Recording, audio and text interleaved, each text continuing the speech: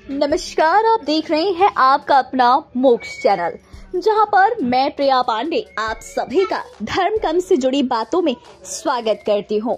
और आज के इस खास वीडियो में हम बात करेंगे कि यदि हम अपनी पूजा में, अपने मंदिर में, घर के मंदिर में पूजा करते समय फूल चढ़ाते हैं तो पूजा करने के बाद उन फूलों का करें क्या? दोस्तों, हिंदू धर्म में पुष्प का धार्मिक महत्व भी होता है। देवी देवताओं को प्रसन्न करने के लिए सभी प्रकार की पूजा में फूल चढ़ाए जाते हैं।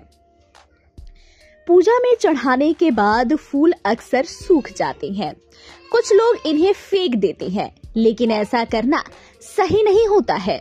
तो चलिए, आज हम इस वीडियो में जानते हैं कि इस दौरान जब हम पूजा में इस तरह से फूलों का इस्तेमाल करते हैं तो उन फूलों को फेंकना नहीं चाहिए तो करना क्या चाहिए?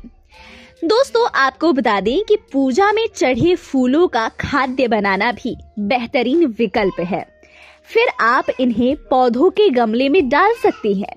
इस तरह से फूलों का इस्तेमाल करने का लाभ भी आपको मिलेगा।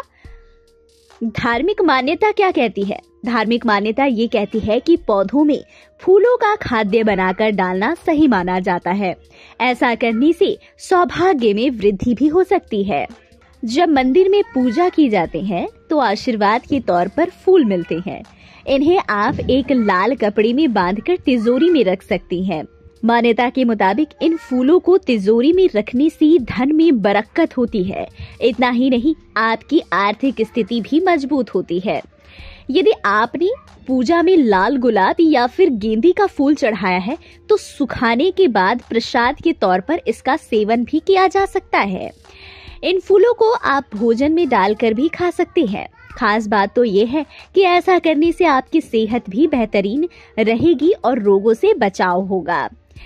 यदि आपको हमारे द्वारा दी गई ये खास जानकारी अच्छी लगी हो तो इसे लाइक कमेंट शेयर करके ज़रूर बताइएगा दोस्तों।